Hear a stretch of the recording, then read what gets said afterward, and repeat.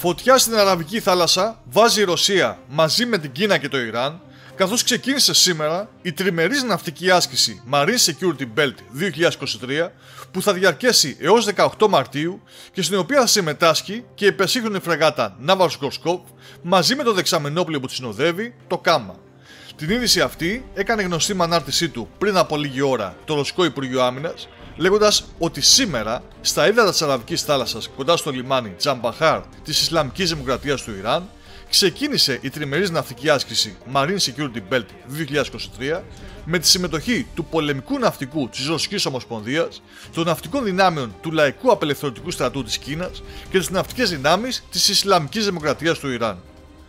Όπως συνεχίζει η ανακοίνωση, στο πρώτο στάδιο της άσκησης, οι ναύτες των τριών χωρών θα εργαστούν επί των χαρτών για τη σχεδίαση των μερών της άσκησης, επί των δράσεων που θα διενεργηθούν στη θάλασσα και θα πραγματοποιήσουν τακτικές ενημερώσεις. Από τις 16 ως 17 Μαρτίου θα διεξαχθεί το ναυτικό στάδιο της άσκησης, κατά το οποίο οι συμμετέχοντες θα συγκροτήσουν διεθνές απόσπασμα πολεμικών πλοίων, θα πραγματοποιήσουν κοινούς ελιγμούς, βολές πυροβολικού τόσο κατά τη διάρκεια της ημέρας όσο και της νύχτας και θα υπάρξει επίσης μια άσκηση για την απελευθέρωση ενός εχμαλωτισμένου πλοίου, παροχή βοήθειας σε πλοία που βρίσκονται σε κίνδυνο στη θάλασσα και μια σειρά από άλλες δραστηριότητες.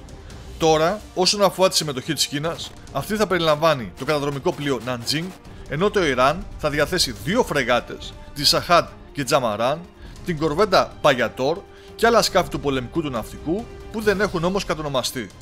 Βεβαίως, αυτό δημιουργεί αναταραχή και θέτει σε συνεγερμό όλες τις υπόλοιπες ναυτικές δυνάμεις που βρίσκονται στην περιοχή και που δεν έχουν καλές σχέσεις με το Ιράν, όπως οι Αμερικανικές, και ας ελπίζουμε να μην έχουμε κάποιο νέο ατύχημα όπως με το MQ-9 Reaper στη Μαύρη Θάλασσα, που θα αυξήσει ακόμα περισσότερο την ένταση στη γεωπολιτική σκακέρα, αφού τη συγκεκριμένη περιοχή, στον κόλπο του Ομάν, τη λες και επικίνδυνη για να συμβεί κάτι τέτοιο.